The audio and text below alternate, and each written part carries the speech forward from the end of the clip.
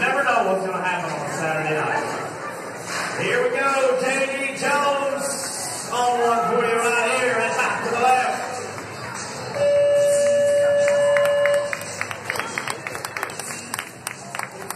Well, I